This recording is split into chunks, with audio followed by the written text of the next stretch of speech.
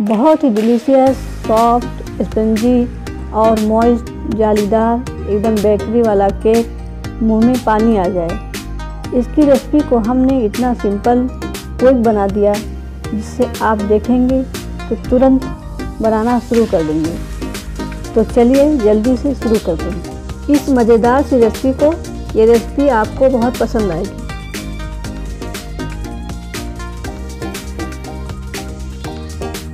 Welcome to my channel Safina kitchen आज हम share करेंगे बहुत ही delicious tasty recipe chocolate cake बनाने की रेसिपी इसे बनाना बहुत ही आसान तो ट्राई करें आप भी बनाना इसे हमारे साथ।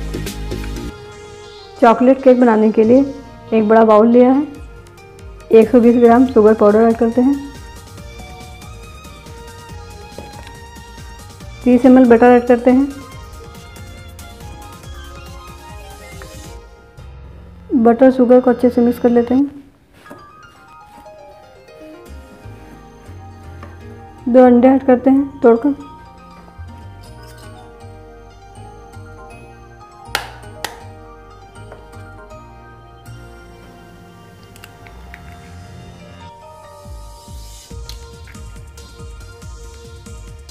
अच्छे से फेंट लेते हैं।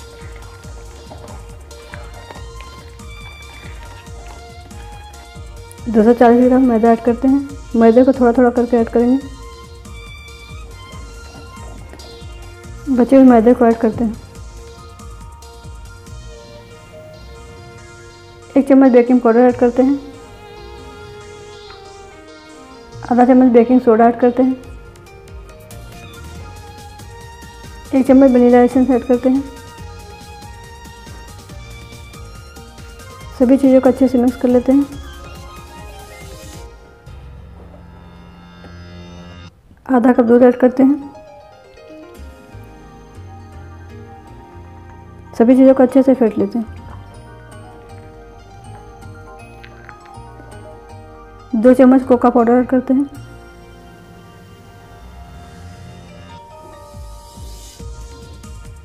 सभी चीज़ों को अच्छे से मिक्स कर लेते हैं। चार चम्मच दूध ऐड करते हैं। अच्छे से मिक्स कर लेते हैं। एक पिंच नमक ऐड करते हैं। अच्छे से मिक्स कर लेते हैं। केक बैटर को मैंने अच्छे से फेंट कर तैयार कर लिया है। चलते हैं अगले प्रोसेस पर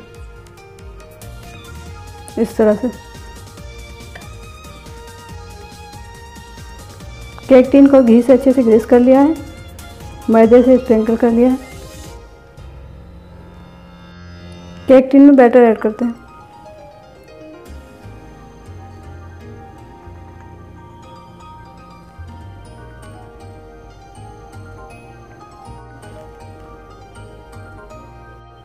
केक टिन में बैटर को ऐड कर लिया है, हल्का सा टैप कर लेते हैं। चलते हैं अगले प्रोसेस की तरफ़। गैस ऑन करके कढ़ाई रखा था, गर्म होने के लिए, कढ़ाई अच्छे से गर्म हो गई है। केक को कढ़ाई में ऐड करते हैं। धीमी आँच पर 20 मिनट के लिए, बेक होने के लिए ढककर रख देते हैं। 20 मिनट हो चुके हैं, खोलकर चेक करते हैं। केक अच्छे से बेक हो चुका है, टूथपिक में नहीं लग रहा है। गैस ऑफ़ कर देते हैं। केक को ठंडा होने के लिए छोड़ देते हैं। केक ठंडा हो चुका है, इसे निकाल लेते हैं। केक को प्लेट में निकाल लेते हैं। इस तरह से।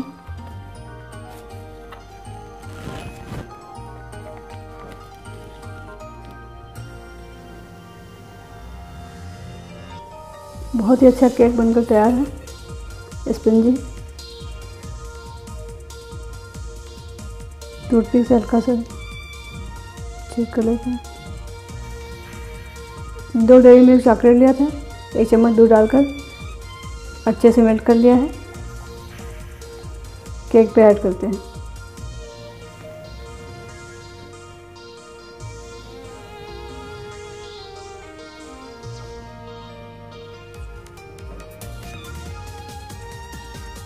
चॉकलेट केक को स्प्रिंकल कर लिया है।